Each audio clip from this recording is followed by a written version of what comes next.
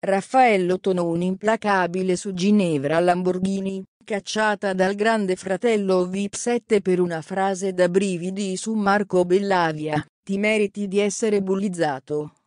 Il tema è stato trattato anche a Mattino 5 dove Tonon si è scatenato non facendo alcuno sconto all'ereditiera e anzi individuando alcuni atteggiamenti controversi assunti dalla giovane. Riassumendo a grandi linee, la Lamborghini, assieme ad altri Jeffini, pronuncia frasi orribili su Bellavia, Signorini e gli autori del reality la squalificano. Lei ha uno psicodramma ma ormai la frittata è stata fatta.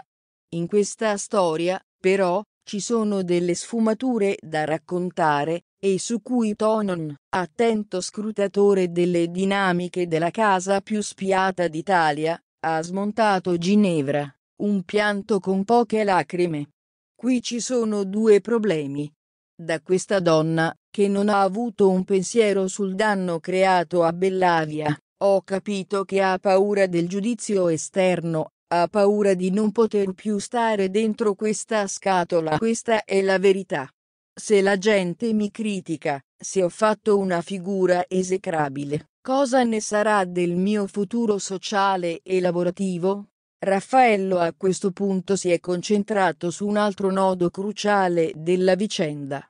Ginevra, dopo essere stata criticata in diretta da Signorini, ha raccontato che Bellavia avrebbe cercato dei contatti fisici con lei. Subito ha messo le mani avanti, dicendo di non essere in alcun modo stata palpeggiata, ma di aver sentito il suo spazio vitale invaso.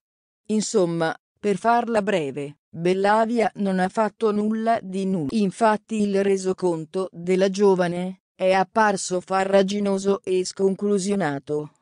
Su tale punto e a ragione, Tonone ha voluto piazzare un altro affondo.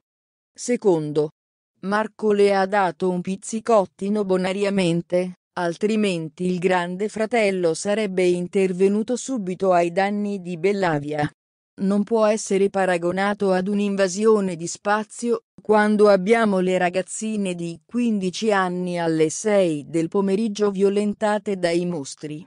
Io lo trovo ciò incredibile. C'è anche un altro retroscena inedito relativo alla parabola della Lamborghini da mettere in evidenza. Dopo la diretta a tratti drammatica della puntata del GF VIP di lunedì 3 ottobre, Antonella Fiordelisi e Cristina 40, a colloquio, ripensando alle scuse tardive di Ginevra, hanno ricordato che l'ereditiera ha iniziato a scusarsi solo dopo che ha sentito gli insulti fuori dalla casa. Insulti arrivati in seguito all'abbandono di